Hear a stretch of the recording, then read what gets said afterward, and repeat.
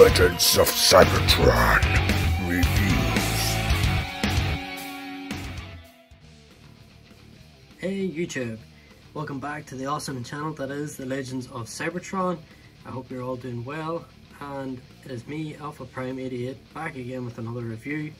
Uh, because I didn't do half bad uh, review on this little guy, the great people at Legends of Cybertron who I am part of the league of have asked me back to do a review of my DX9 Grimlock also known as Commander Rager from the DX9 Pocket series. So I don't, like I said in the previous video, I don't own a lot of Legends scale figures, but when it comes to the Dinobots, they have to be part of the collection. So we'll start by looking at the box. So you get a nice big image of Grimlock's head.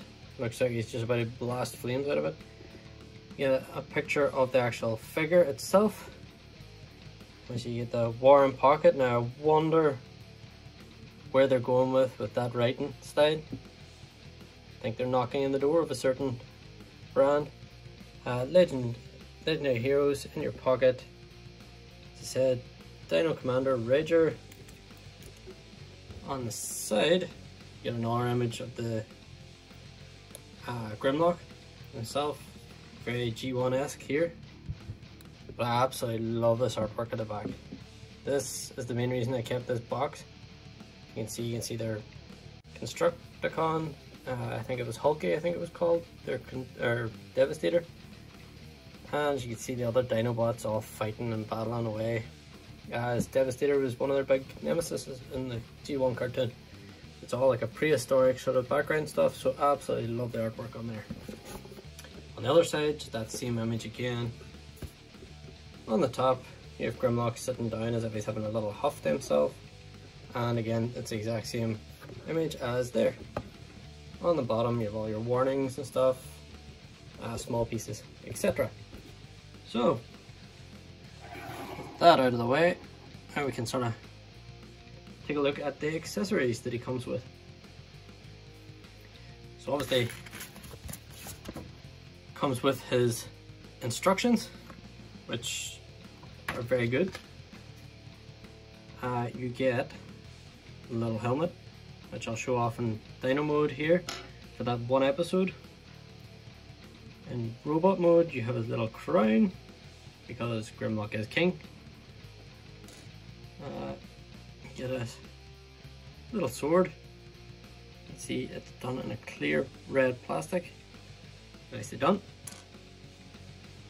And you get blaster. Double barrel blaster. It comes up there.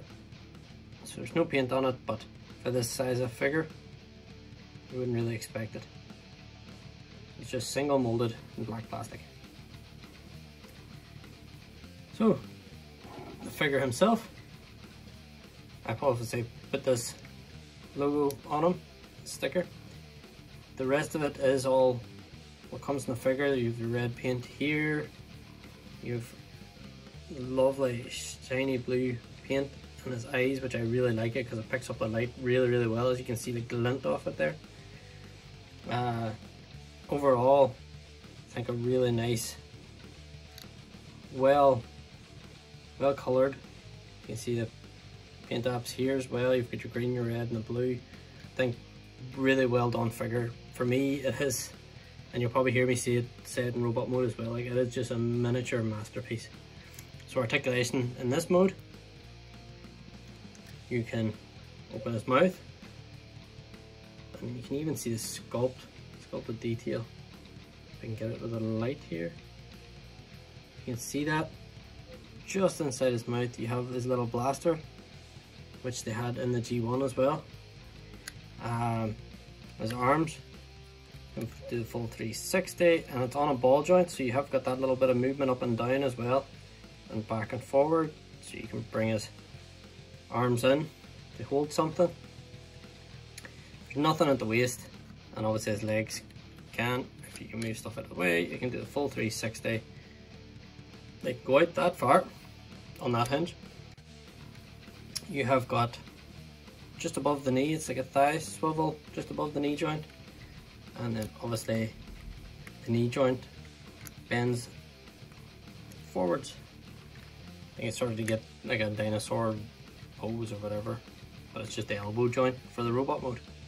So can't bend it backwards. And uh, obviously the little slider joint for the hands which you'll see in transformation. But it's unfortunately it sort of sits on the outside of the leg. It would have been better on the inside, but if you see with transformation that wouldn't have been possible. So uh, you can see the paint here. Yellow paint is very hard to do on silver. As you can see, it's sort of muted a wee bit. Um, I don't know, you can sort of pick it up on the camera there. It's just not bright yellow. And you look at the yellow on the chest plate, which is yellow plastic, and the toes are painted. So if I can get them both in the same shot, you can see the difference between the painted and the yellow plastic. So, I did say I would show off the little helmet and its dino mode. So you just pop that on. It's not a, a great fit, but it does sit on there. And from that one episode where he transforms his brains to Computron, uh, to the Technobots, um, I think it's in the Rebirth one of the Rebirth episodes, if I'm not mistaken. I'm sure someone in the comments can correct me if I'm wrong, but I'm pretty sure it was in the Rebirth episodes at the very, very end of G1 Season 4, uh, where he transferred his brains. Also, you can, as you can see this little peg here, if you wanted to, you can store his gun his back, if you really want to. Hey, it's an option. So, for comparison on in Dinobot mode, I shall bring in Cliff Jumper. I think it's an absolutely fantastic scaling. And obviously bring in this guy. Hasbro's real Triad Legend scale, which is okay for Chug, but these little guys are like absolutely fantastic. If I was to redo my uh, collection, definitely be doing legend scale. Absolutely fantastic for the size of them. And just because I have them all here. Here is Grimlock's crew. I'll zoom out now in a little second.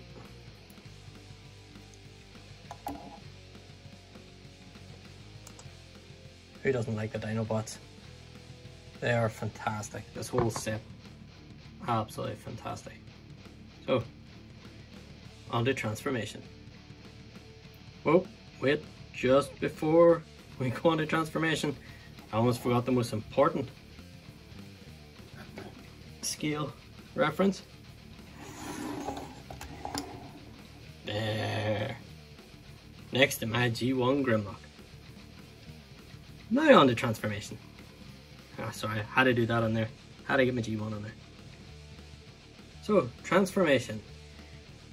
Transformation is very simple, as you would expect with any Grimlock figure. You start off with popping the dinosaur head back, and then you can split apart the chest plate, which is quite difficult for a figure this size. You can't really get both your fingers in the back of that plate to pry it open. But you can see the little tabs here, goes into those ports there. Now what I like to do now is extend up on this black hinge. It's like a double hinge, as you can see. And move the tail back, out of the way. Get the wing, wing pieces here, up. Then flip, show better here. This here comes, rocks forward like this. Rotate the waist joint so that this bit's now facing the front. Then you come up and you have to get this little panel and if I'm not mistaken you can use this, this sword to pop it as it's quite hard to get to and they actually which I found very very funny myself in the instructions they actually tell you to poke through this part to push the head and flap open. Now definitely need to do that for going back to dinosaur mode uh, to open the flap again behind his head because there's no clearance with the head up. So it's just I find it interesting and the instructions are telling you to do it as well with a little pry tool. So now that you have that little flap up, get it right up out of the way and then you can bring Grimlock's head up out of there. Put the flap back down and as you can see now you don't have a lot of clearance so you do need to push up from the bottom. Rotate Grimlock's head round to face the front and then what you're going to do is you're going to collapse sorry off camera. So push the head down and what you're going to do is you're going to bring this up into this into the chest plate that locks into place. Open up the wings, come down to the legs, split the legs apart. You're going to open at this section. Then allows you to rotate the leg down. Then you're going to flip this bit in and then rotate it back in. And I just tuck the tail up like that. Then rotate the leg at the thigh joint, bring the feet forward. just do that again. Open here, swing the leg round, fold this part, you can move this tail tip up like this, rotate this in,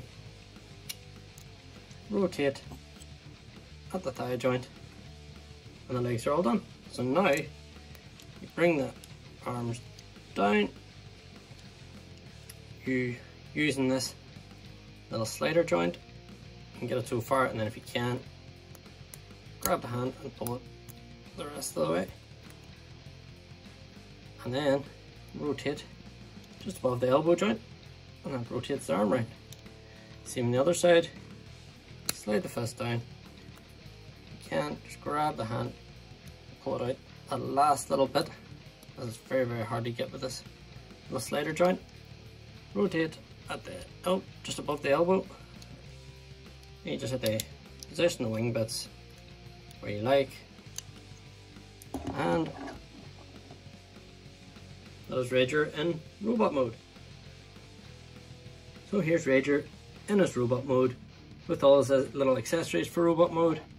You have his gun, fits perfectly in his hand, the sword, now the only thing about the sword is because he has this big piece here, the bottom of the dinosaur foot, you can't actually rotate the sword to go straight out the way, so it's sort of tilted just. You can see the little design work there. And he has got his crown. I can't push it down any further because these things are sharp. Or you can actually see the little indents and then on my finger where I was pushing it down. They are sharp. So, just take off his accessories and we'll take a look at the actual figure himself.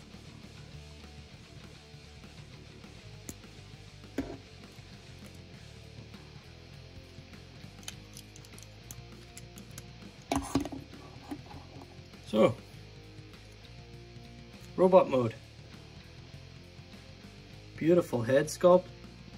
The only thing is the paint doesn't really pick up as well because it's sort of in behind that little cap bit. But it is blue, sort of metal fleck or paint even. Very, very shiny. Uh, chest as is, just yellow plastic. It has the smoky clear plastic cover. And then you get all the stuff that transfers over from dinosaur mode, like on his legs and stuff. Uh, articulation wise, head can do, a full 360. Pin the, or put the wings back, arms can do a full 360. You have that swivel above the elbow. Got a full 90 degree bend at the elbow. Um, the hands don't have any articulation. Can't rotate at the waist, otherwise everyone starts coming untabbed.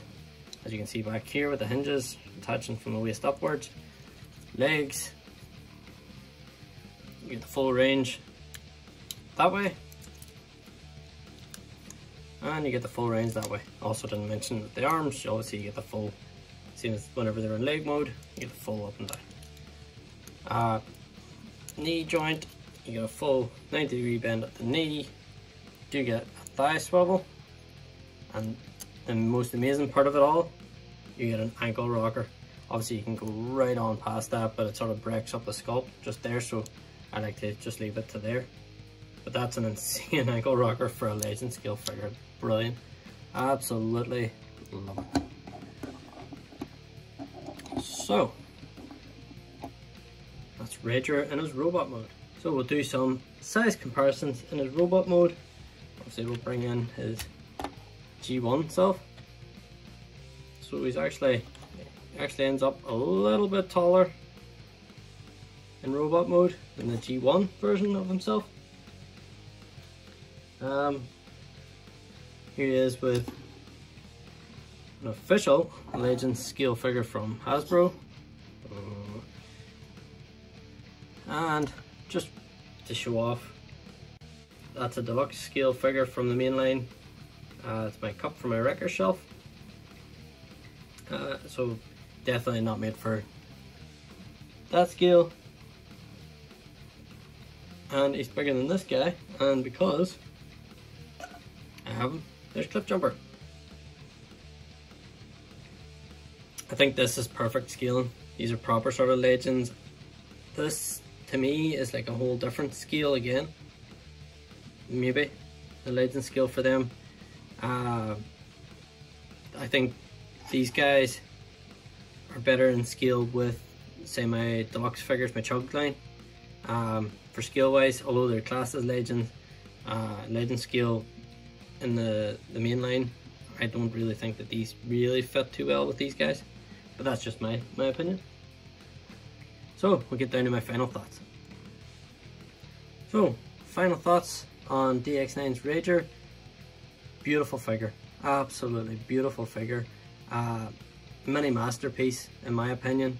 Uh, I think, you know, very simple sort of transformation, but for this scale, the articulation's absolutely unbelievable. The transformation's fantastic, and I do, and I do really, really like. It. I didn't really mention it, but it doesn't actually end up with the the dinosaur head hanging off the back because it's folded into the actual chest bit, which I think is, you know, absolutely fantastic, beautiful way of doing things. Uh, maybe Takara or Hasbro could take a leaf out of that book for that sort of thing for future. Um, so you don't have a Dinobot hanging off the or dino, dinosaur head hanging off the back. But all in all, definitely a fantastic little figure. If you're collecting legend scales and stuff and you want a Grimlock, I would definitely recommend picking this guy up. If you wanted him a little bit bigger, I do believe Mech Fans Toys did an upscaled version of this guy.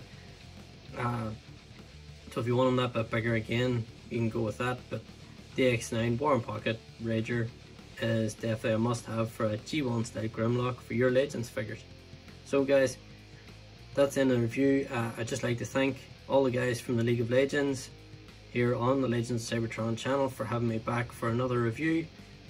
Definitely really appreciate all the great comments from the last video I did with the Cliff Jumper. Uh, it's been absolutely fantastic and it's actually got me back in the mood to do more reviews. So you check out my YouTube channel I will be posting more reviews again. So thanks for watching guys. If you haven't subscribed to this absolutely fantastic channel definitely subscribe to Legends of Cybertron for more Legends reviews. Definitely the best place to be if you're looking for Legends reviews. Thanks for watching guys. Take care